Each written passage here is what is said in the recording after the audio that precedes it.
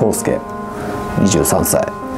ストリートボーラーブラックトップでプレーしてます。大学の3部と4部のオールスター戦を見てもらっててそこからボーラホリックゲームに呼んでもらったのがきっかけです。一番俺が食らったのはなんかそれぞれが何かを企んでるじゃないけど実力のないやつはその時点で飲まれちゃうような空気。そういうところすごい世界だなって。腹くくったっすね。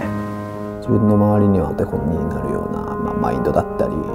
実力がある人がいっぱいいるんでやっぱそういう人たちから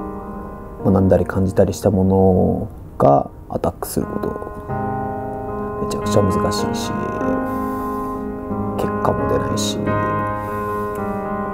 まあ、難しいからできるようになりたいっていう追求っすかねもう。それしかやってないしとことん追求っすかね。